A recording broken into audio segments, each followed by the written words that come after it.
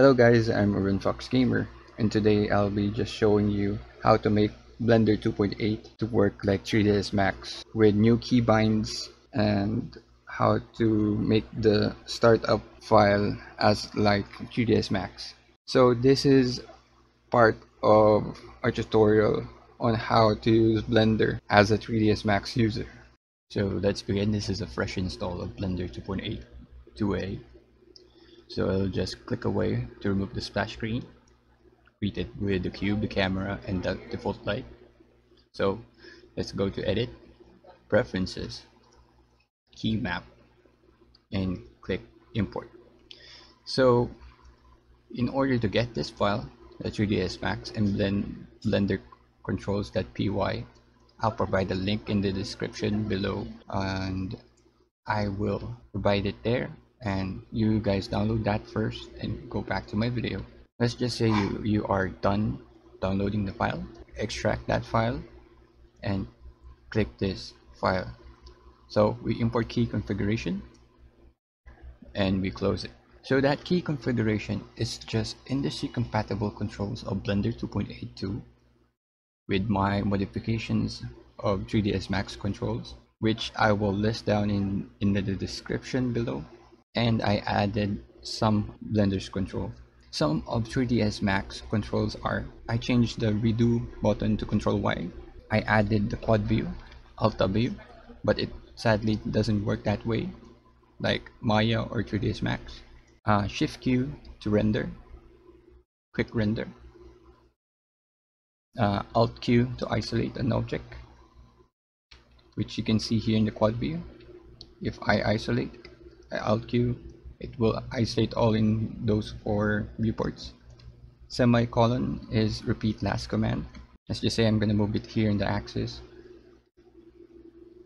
And I'll press semicolon again. As you can see it is moving on the y-axis repeatedly. I made focus Z. I made the orthographic and perspective a toggle by pressing U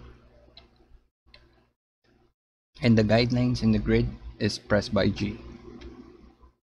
I added blender controls which is shift A to add elements shift C to reset the cursor because blender is using a cursor a tool called cursor for snapping uh, elements this is as well as spawning tool. So shift C to reset the camera and the cursor. By pressing Ctrl Alt and numpad 0 will make the view as the camera as you can see here.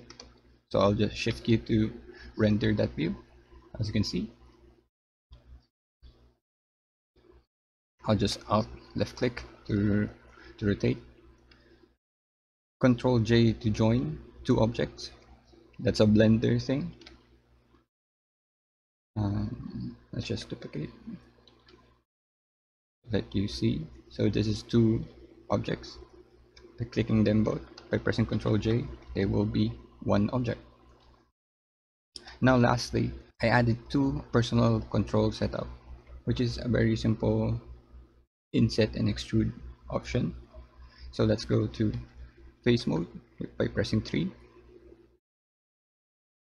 so shift E is my extrude option. Of course, there are Control E as the default extrusion of industry compatible controls. But my version of control um, extrude is extrude on normals.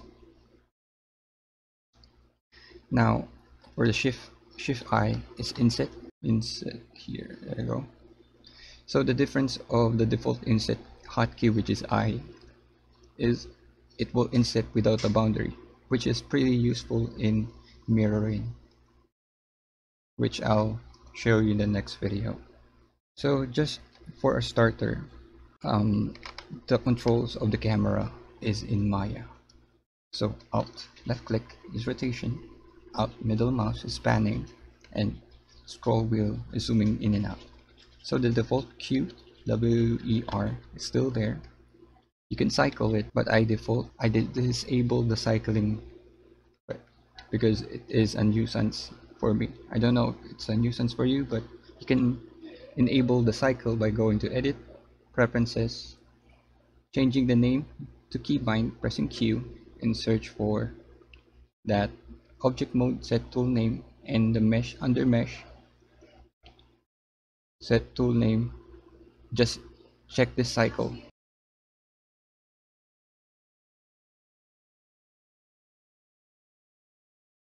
now every time you open blender this is how it will look like doesn't look like 3ds max. If you want like a, a blank canvas control a select them all delete then go to file defaults save startup file and hit again.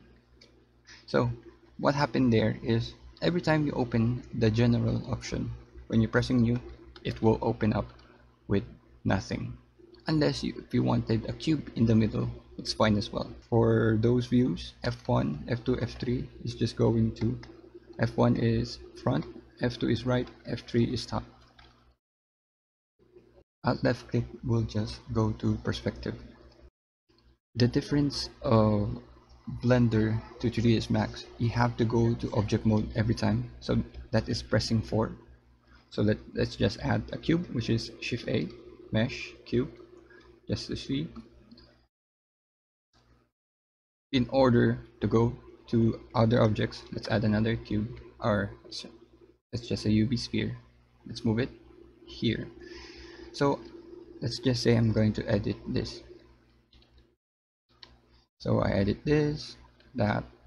Now in order to click this I have to go to object mode which is pressing 4 so 1 is first 2 is edge 3 is face mode again whenever you are in edit mode which is 1 2 3 you can't click upside except here within this editable poly that you are editing. In order to click here you have to press 4 which is you can see here on the top left on which mode you are. While you are in edit mode which is you can see on the top left corner which is here if you press right click you can see all the available tools and options you can do with the cube. Of course this is contextual so vertex mode edge mode and face mode is going to be different every time you right click find this mini tutorial that I made for Blender as a 3ds max beginner which is I'm still are uh, very useful for your entry point for blender 2.8 give this one a like thank you for watching. This is urban fox gamer signing out